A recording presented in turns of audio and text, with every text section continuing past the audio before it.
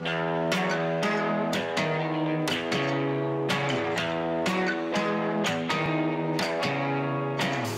I'm Terry and today you're going to be joining us going through the Topman General Store in Covent Garden in the heart of the Seven Dials on Earlham Street.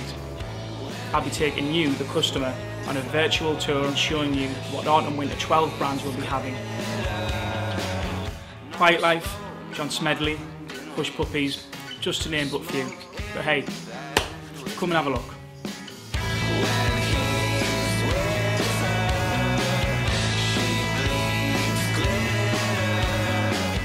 Topman have done quite a lot with Percival. They did a collaboration last year and off the back of that successful collaboration we went for the main line this year. The detailing that they use on Percival is brilliant. They use a lot of illustrations on the product. It's fun, it's quirky, quality product, made with quality materials, all made in England as well, which is really, really good. Quiet Life has been running since 1997. We've got a really extensive range of five panels and snapbacks ranging in so many different sort of colours, fabrics and prints. Going along with the sort of autumn winter styling and vibrant colours, they've now got this sort of beanies and woolly hats on.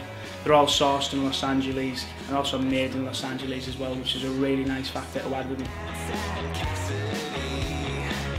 This is the new John Smedley for autumn winter. We had a great reaction to the spring summer collection and they've come back again with like beautiful vibrant colours. What I love about John Smedley is that it's a classic British heritage brand there's no messing about, it's all clean cut and beautiful fine knitwear. The design is from Hemingway Design and Hush Puppies. It's a collaboration, all based around the mods, the rockers, the rockabillys, the teddy boys. We've taken sort of classic design features like from the sort of creeper wedge, sort of desert boot sort of styling.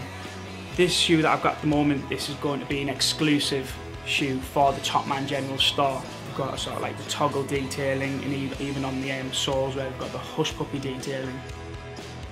Pendleton has been around since 1863. The different shirts that we've got this time are the thinner cotton shirts which are a little bit more fitted, more of a sort of skateboarder type shirt. And then we've also got the sort of more 1980s styling of the bomber jacket.